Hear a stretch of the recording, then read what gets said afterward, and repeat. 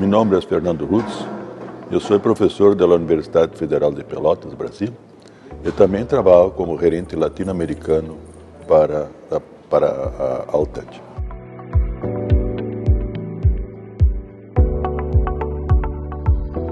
Como global, as principais enfermidades que hoje tem nos animais são anemia, a bronquitis, o gumboro, o vírus. E como se pode agregar algo, mas mais local seria a enfermidade de Marek, a influenza e também a de Newcastle. Además disso, também como desafio, temos a coli e temos a salmonella e clostridium, que estão, estão juntos.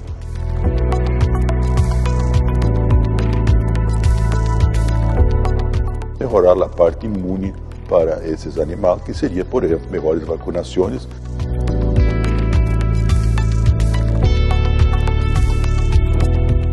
Celplex, o selênio hace como, como atrai, um químico atraente de células de defesa para o sítio onde está ocorrendo o desafio do animal.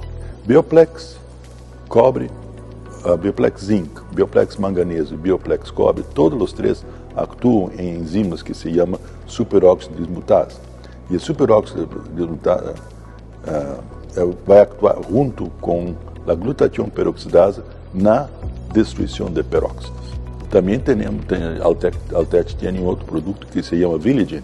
Villigen é muito bueno tanto para gram negativas como para gram positivas, porque, entre outras coisas, melhora a parede intestinal através de melhor energia e síntese de, de enterocitos, também aumenta a produção de moco, onde temos aí a imunoglobulina A, que protege a parte de mucosas, e também estimula as proteínas antimicrobianas que são extremamente importantes contra eh, bactérias gram-positivas, como o Clostridium.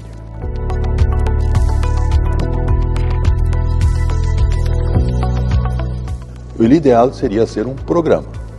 E nesse programa ter, por exemplo, os minerais orgânicos, como o Cellplex, como os Bioplexes, uh, para também outros neutralizantes de bactérias, como seria o caso de Villigen ou Actigen, hasta enzimas. Altete está sempre de braços abertos para os clientes, para os amigos.